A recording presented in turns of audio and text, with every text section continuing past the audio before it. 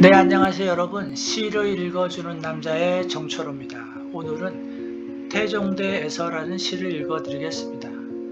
태종대에서 정철호 추억이 파도처럼 노을대는 영도 태종대 쪽빛 바다에 은빛 포말이 바위에 부서집니다.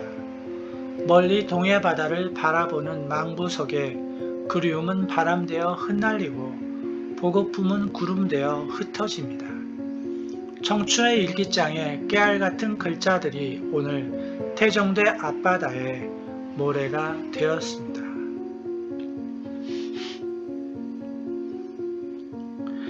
신선대라고 불리는 태종대는 부산에 가면 꼭 가봐야 하는 곳입니다. 대학교 때 가보고 30년 만에 가본 태종대는 여전히 기암괴석과 푸른 파도가 저를 반겨주었습니다.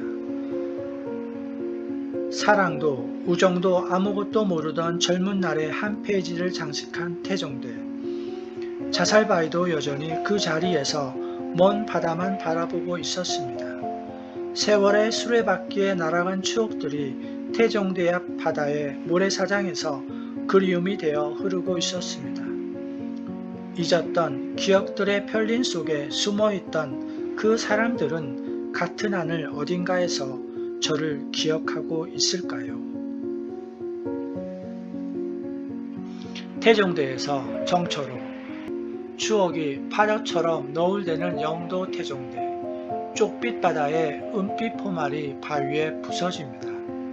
멀리 동해 바다를 바라보는 망부석에 그리움은 바람되어 흩날리고 보고품은 구름되어 흩어집니다. 청춘의 일기장에 깨알 같은 글자들이 오늘 태종대 앞바다에 모래가 되었습니다. 네, 오늘은 태종대에서라는 시를 읽어드렸습니다. 감사합니다.